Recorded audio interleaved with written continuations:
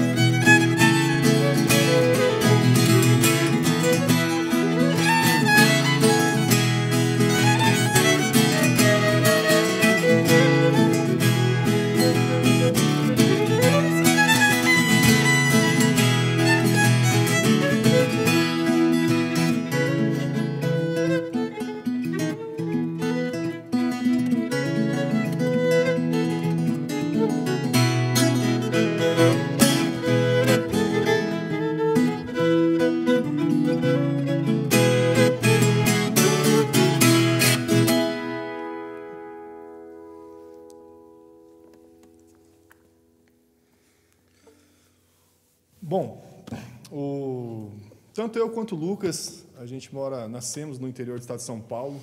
Eu nasci em Mojimirim, ele nasceu em Mogi Guaçu, né? E a gente se conheceu por intermédio de alguns amigos lá em São Paulo. Ele foi estudar violino lá no Conservatório de Tatuí e eu fui para São Paulo, na época na EMESP, depois na Cantareira. E a gente não se conhecia aqui, a gente foi se conhecer por intermédio de alguns amigos e aí a gente marcou um encontro aqui, né? Foi.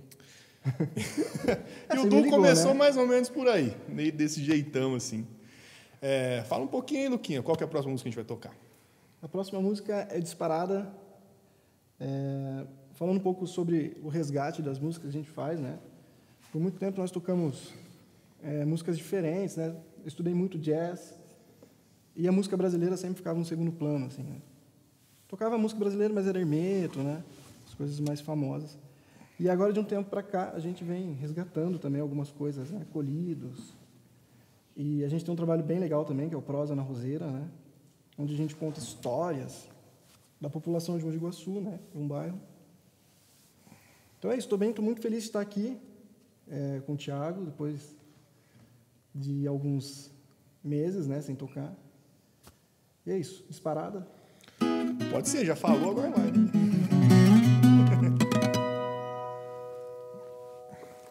Começa o CS.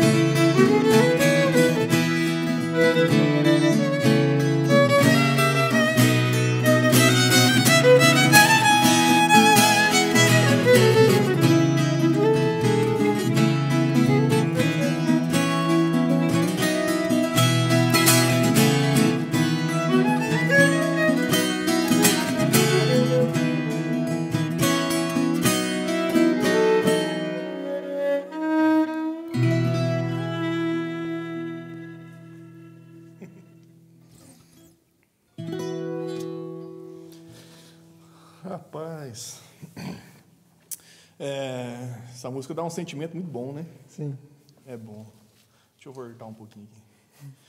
O, o nosso duo, é, a gente tem uma proposta um pouquinho, não sei se diferente, mas uma proposta meio nossa, que a gente tem, a gente segue alguns arranjos, né? A gente faz algumas ideias de arranjo e tudo mais, mas na hora acaba acontecendo a música, né? A gente acredita muito na música não, é, não seria improvisada, né? Seria feita no momento assim. Então, a gente pode tocar essa música várias vezes, sempre vai ser alguma coisa diferente, alguma harmonia, alguma melodia. A gente não segue um arranjo fechado, né? Então, às vezes, a gente toca uma música que numa gravação dá, sei lá, dois minutos, na outra gravação já vai para cinco, na outra gravação já vai para dez. Depende muito do momento. A gente gosta de sentir o momento, a gente se olha muito e tenta fazer o som na hora. Essa é a proposta do nosso trabalho. A proposta principal do nosso trabalho é essa. Vamos tocar mais uma?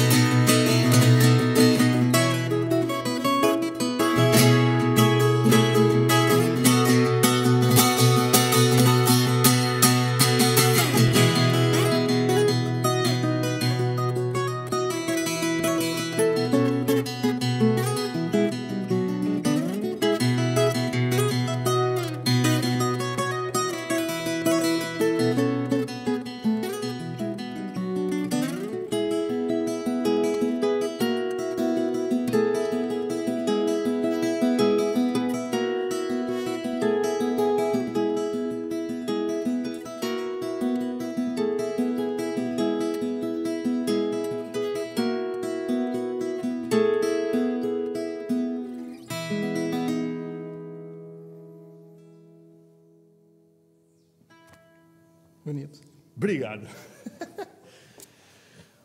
É, vamos fazer mais uma, Luquinho? Vamos, vamos fazer um na Você lida? quer falar alguma coisa? Vamos fazer um na lida? Quem? Na lida. Na Lida? Ah, vamos lá. Bom, a na lida é uma música que eu fiz pro Thiago. Eita, bexiga. Momento de emoção. Tem que colocar a música de. Que é as músicas do Gugu, assim. É, putz. Pô, Então, foi, assim, sensacionalismo isso aí, né? Vai lá que eu vou foi, chorar. uma, foi uma época que a gente não estava tocando, né? E aí a gente também não estava se falando muito, né? Por vários motivos, né? É. Muitas aulas e o Thiago trabalhando bastante. E aí eu liguei pro Thiago e falei, cara, e aí, como que você tá? E sumiu. Aí ele falou, cara, eu tô na lida. Como um, um sentimento de, tipo, cansado, né? Tipo, trabalhando muito e sem música, enfim. E aí eu fiquei pensando nisso, né? Tantos lugares que a gente já tinha tocado, né? E então eu compus essa música na lida para o Tiago tocar em homenagem a ele também e a todos que trabalham e carregam o Brasil, né? Que são os trabalhadores brasileiros. Vamos ver se eu lembro agora, né? Aquela partezinha lá, você sabe, né?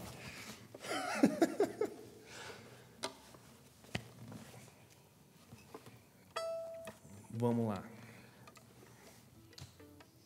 Ah, eu começo. Né?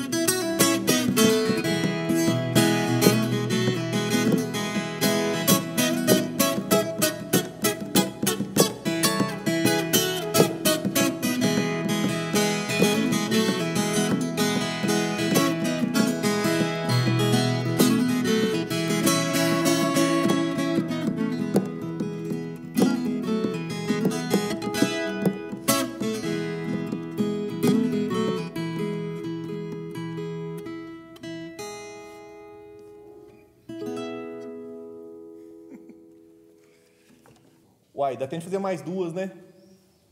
Acho que dá. Vamos fazer o lamento. Pode ser?